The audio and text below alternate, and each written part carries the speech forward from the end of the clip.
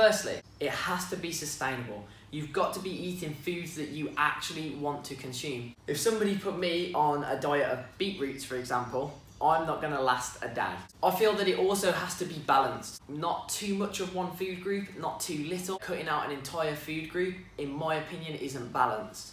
We also want to create a healthy relationship with food. Food is essential to living, and not only that, it is an enjoyable aspect of life. And remember, variety is the spice of life. Enjoy different food groups. You will benefit from a range of tastes and textures, as well as a range of different nutrients. And don't forget the most important key to a good diet it has to be perfect. Just kidding. It doesn't have to be perfect or optimal. In fact, I would advise against it.